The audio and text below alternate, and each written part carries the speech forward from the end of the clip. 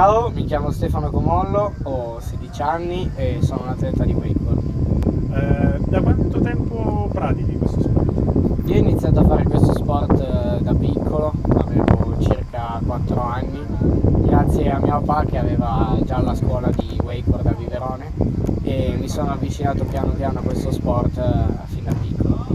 E perché, visto che uno dei posti dove è nato lo sci nautico è proprio Viverone, non hai iniziato eh, lo sci nautico e invece ti sei appassionato al wakeboard? Ho iniziato il wakeboard perché mio papà avendo la scuola ho sempre visto anche da piccolo che come andava avanti il wakeboard, quindi le, le varie barche differenti allo sci nautico, le evoluzioni mi hanno sempre affascinato e mi sono avvicinato più a questo lato dello sci nautico rispetto che all'altro.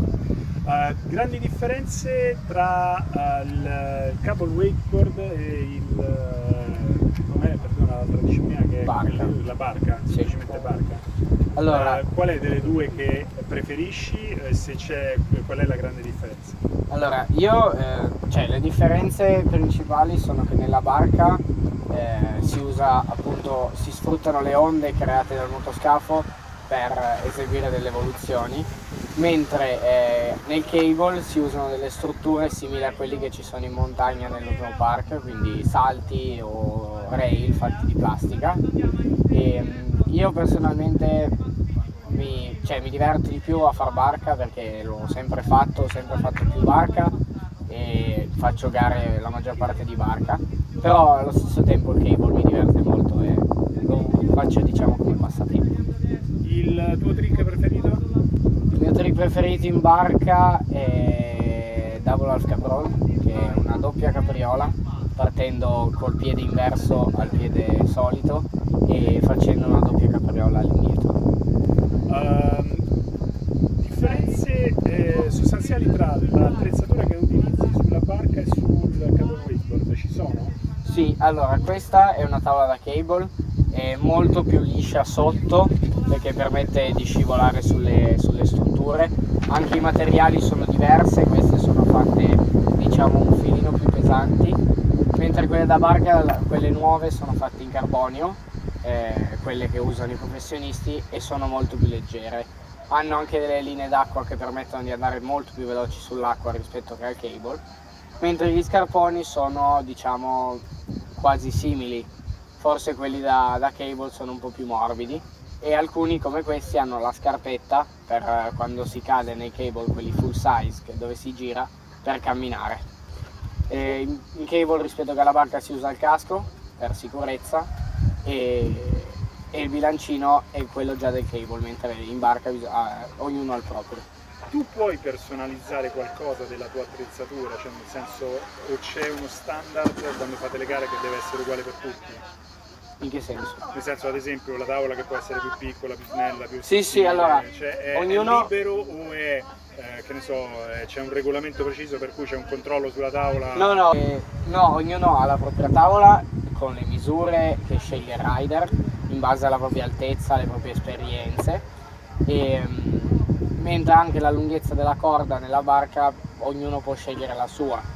Chiaramente più la corda è lunga, più sarà l'ampiezza dei salti e più sarà, diciamo, eh, ci sarà più punteggio. Eh, il punteggio è soggettivo per il giudice o ha delle regole ben precise anche lui da rispettare? No, allora il, il giudizio eh, viene esclusivamente dalla barca, che ci sono i giudici sopra e usano tre criteri, eh, ampiezza, intensità ed esecuzione, che, eh, dove loro danno un voto per ognuno di questi, e, però non, non ci sono come ad esempio nello sci nautico il, ehm, dei punteggi specifici ogni figura. Ok, Eh, una domanda, durante l'inverno, oggi siamo in estate, è bellissimo, posso- ma d'inverno come funziona? Allora, d'inverno io quest'anno è stato il primo anno che mi sono riuscito a spostare d'inverno per andare al caldo. Ho fatto un mese in Argentina con altri miei compagni della squadra nazionale e poi due settimane a Orlando da Massimiliano Piffaretti. E perché d'inverno qua in Italia è molto difficile per, sia per le, per le condizioni climatiche e invece da noi proprio a Viverone ci- si chiude la navigazione dal primo di novembre fino al 15 di marzo, quindi è impraticabile. Ok. Eh, ancora non, ci sa- diciamo che il wakeboard, se non vado errato, ha fatto soltanto un'apparizione alle Olimpiadi nel posso. 72 come di- sport dimostrativo in realtà. Almeno- almeno E poi non ha più in qualche maniera eh, preso parte. Tu hai qualche idea o hai- del motivo per cui è, è così difficile? Perché una delle condizioni che mi hanno spiegato potrebbe essere la necessità di avere condizioni uguali per tutti quanti. Esatto. Il, Il- il cable wakeboard consentirebbe questa... Sì, allora il, il cable sicuramente con gli anni più avanti eh, potrà entrare alle Olimpiadi, mentre la barca è molto più difficile perché oltre a esserci un motore c'è anche una persona esterna che deve guidare la barca che quindi non può essere eh, introdotta perché giustamente non, non si ha le stesse condizioni per tutti.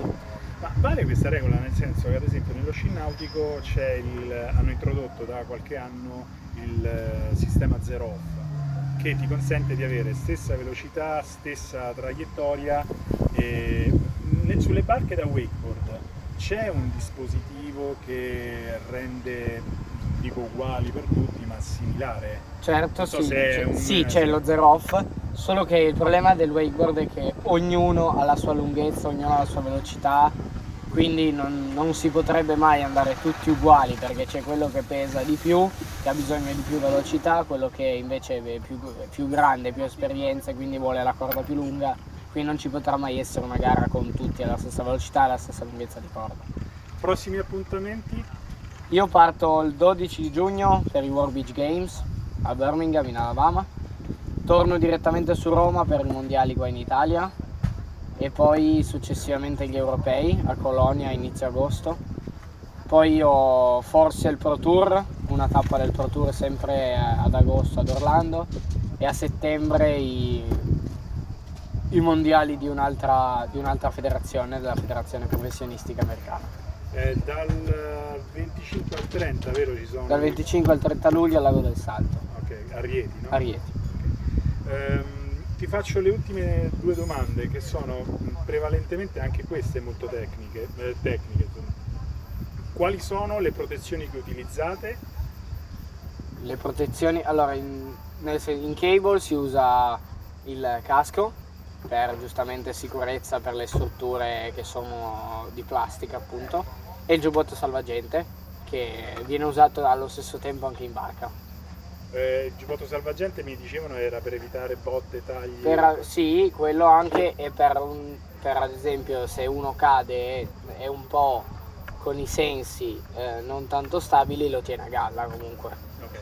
Eh, domanda è, raccontami un aneddoto se ce l'hai di una cosa divertente, de- cioè se, se tu dovessi descrivere il wakeboard a qualcuno e ti viene in mente un episodio divertente che ti è capitato, eh, cosa, ti- cosa diresti? Cosa racconteresti? No, non ho capito. Se- Se io racconto quando andavo a scuola mi vengono in mente una serie di episodi magari divertenti che potrei raccontare. Eh, qual è una cosa, un aneddoto con il quale potresti descrivere la tua passione per... eh, Eh, boh, cioè. Il wakeboard è. Se, dovrei descri- se dovessi descrivere a qualcuno, il wakeboard è. Per me è una sensazione molto particolare perché io mi sento sull'acqua e non, mi sento come se volassi sull'acqua. E quindi non, cioè, non, non ci sono parole per esprimere la mia passione il wakeboard. cioè, ti senti a casa? Sì. Ok, Va bene, per me è tutto.